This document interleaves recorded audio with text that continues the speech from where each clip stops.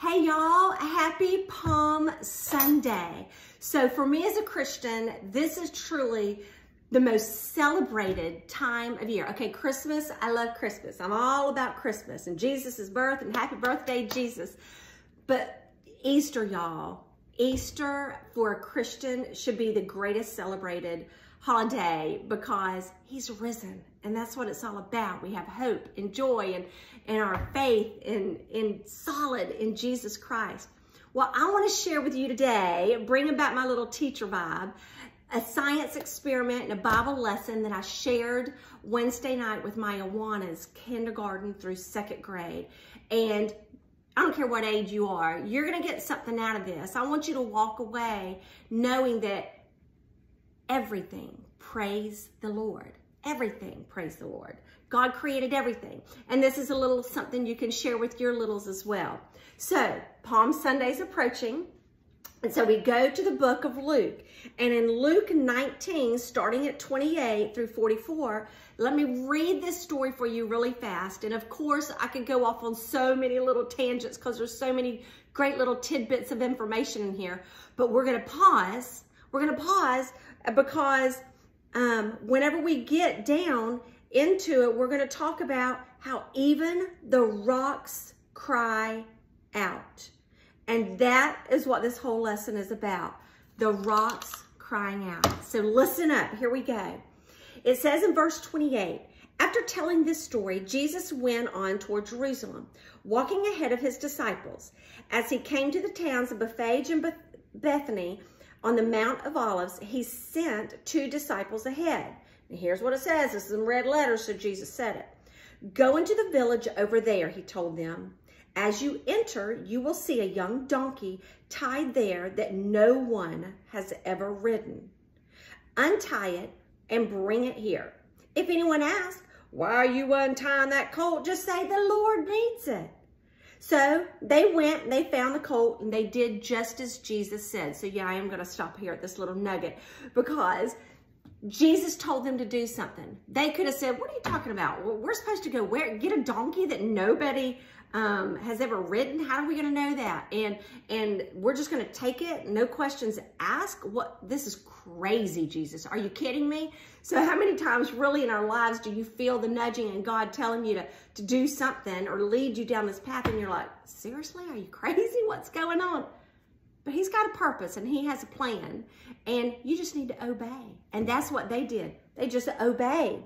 So here it goes. It says, so they went, they found the colt just as Jesus said, and sure enough, as they were untying it, the owners asked them, why are you untying that colt? And the disciples simply replied, the Lord needs it. So they brought the colt. So evidently, the owner didn't even ask any questions after that either. So they brought the colt to Jesus and they threw their garments over it for him to ride on, kind of like a saddle. As he rode along, the crowd spread out their garments on the road ahead of him.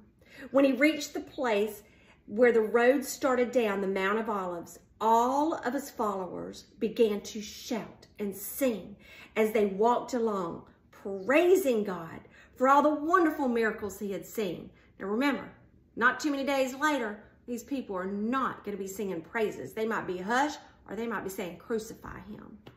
Heartbreaking. Here we go, verse 38. They're shouting, Blessings to the King who comes in the name of the Lord, peace in heaven and glory in the highest of heaven. But some of the Pharisees among the crowd said, Teacher, rebuke your followers for saying things like that. And don't we have people today, y'all? Don't we have people today telling us, you know, hush up about your Jesus? Christians are getting pushed down. But y'all, don't. Look up, rise above. That's what we've got to do. Jesus replied, if they kept quiet, the stones along the road would burst into cheers. And so we can, we can go on right there, but I'm just going to stop and share this experiment with you. So what I did with the kids, I said, okay, so the people, if they're told that they're going to hush, but even the rocks will cry out, well, let's go and we're gonna fill this. And maybe I should take the top off to make it go a little faster. But we're gonna fill this with some hydrogen peroxide. So I'm gonna put hydrogen peroxide, 3 fourths cup. And then I asked the kids, okay, how many days was it till Jesus rose again?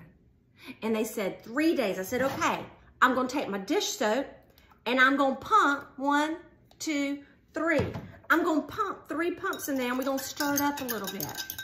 So after it's all stirred up, and then I'm gonna put the rocks in.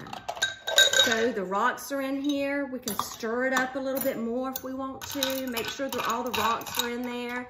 You can hear them, but we hadn't really heard them yet. We're gonna wait. We're gonna hear these rocks cry out. So then you take some warm water, you take some yeast, and as you put that yeast in there, and you stir this up, and then you're gonna let it sit for about a minute. So while it's sitting, I'm asking the kids, okay, so if Jesus was coming to your town, what is something that you would say? What is something you would say? So they all started just shouting out. Well, they didn't shout out. I called out one at a time on this part.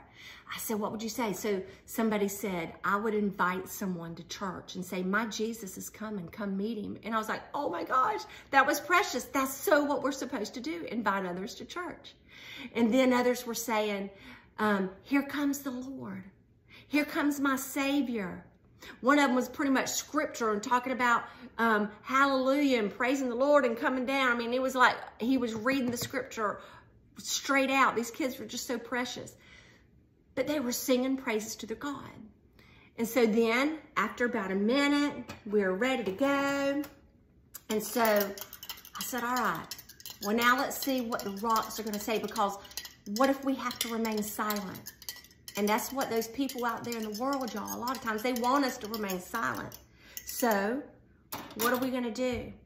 Because we're told in Psalms, I think it's 148 maybe, I'm not sure, I'll have to check that and put it in my written portion.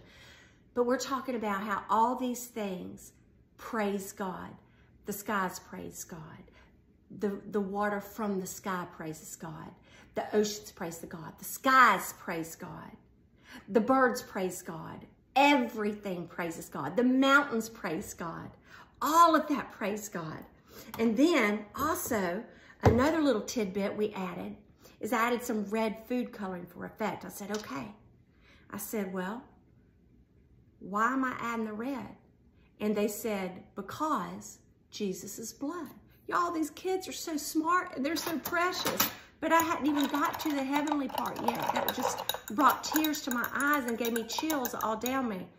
So whenever I pour this in, we talk about how the rocks are crying out like a volcano. You couldn't keep them silent. So at this point, I told the kids, I said, okay, everybody at one time, tell me what you would say if Jesus was coming. And they all started shouting all these precious names, singing praises to God. I had chills all down my skin. And I was like, y'all, this is what heaven is going to be like one day. This is what heaven's going to be like with everybody at the feet of Jesus and just like angels just praising the Lord. Y'all, I just pray that whatever is going on in your world, whether it's school or work or your community, just turn on the news and see how Christians are just getting persecuted in so many various ways. Everything, praise the Lord. Don't let anything stop it because if you're going to be quiet, someone else is going to cry out and sing praises to the Lord or something else. Now, the rocks may not literally be crying out for him, but God created it and everything God created. Praise the Lord. And he loves you. He made you in his image. And I just pray that you have a wonderful Palm Sunday. And look for the written portion, and I'll make sure I include that Psalms in here about what all praises the Lord, because you're not alone. Have a beautiful day. God loves you. I love you. And never be ashamed of your Savior. Have a great day. Take care.